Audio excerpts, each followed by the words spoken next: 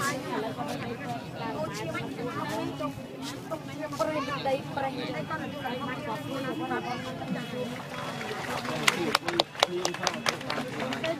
មានតនេះគេកំចាត់ទៅទៅទៀតគាត់គួយតែគ្នាទៅខ្លួនមកក៏មករត់ដល់គេដែរ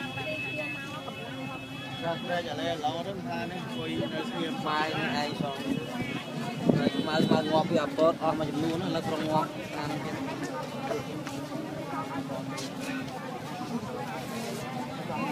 ទីមានសាក់ទីតាម អូគេឈប់ចែកដេកចេះណាស់ហើយ ទឹ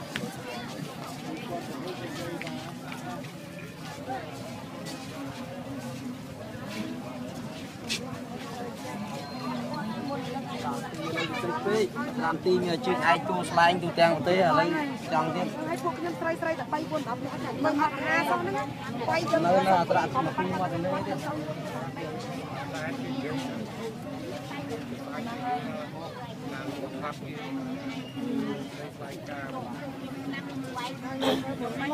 ម